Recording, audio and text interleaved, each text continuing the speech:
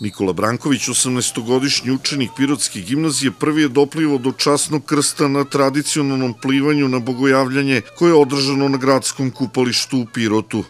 Pa motiv je da se održi jedan običaj, a uz to naravno i malo muške kompeticije.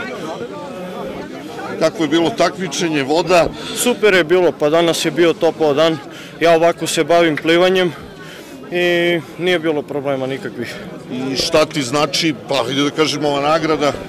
Pa znači mi zato što sam vernik i verujem u Boga i ovo mi veoma znači.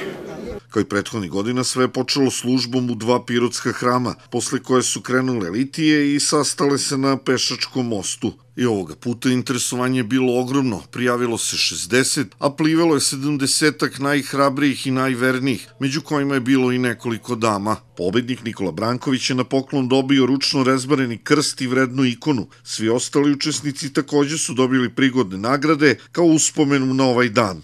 Uz tradicionalni pozdrav Bog se javi učesnicima i svim piroćancima koji su prisustvovali ovom događaju, najpre se obratio Jerej Duško Vidačić, namesnik Pirotski, ukazujući na simboliku plivanja za časni krst i krštenje Isusa Hrista u reci Jordan. Sveti Jovan je najavio dolaza gospodnji, gde je rekao ja vas krštavam vodom, a evo ide za mnom onaj kojima ja nisam dostojan e, obući remena na odeći njegovoj, on će vas krstiti duhom svetim.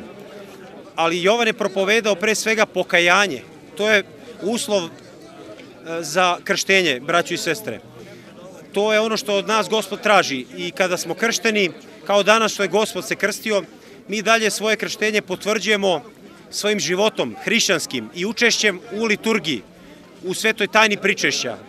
To je možda i najveća tajna posle krštenja, jer time pokazujemo da smo poslušni crkvi.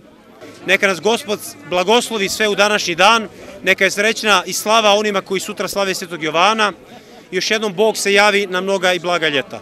Gradonačelnik Vasić je takođe čestito svim učesnicima i ukazao na značaj očuvanja ove tradicije. Pa ja najpre želim da čestitam svima koji su ušli u vodu, jer zaista je podvig u januara ući u vodu i plivati za časni krst, a želim da se zahvalim i organizatorima, naravno pre svega Tijabarskoj i Pazarskoj crkvi, ali i sportskom centru Pirot, uz pomoć kojih smo mi vratili ovu tradiciju u Pirot pre više od 15, skoro 20 godina i kao što vidite svake godine je masovnije i masovnije.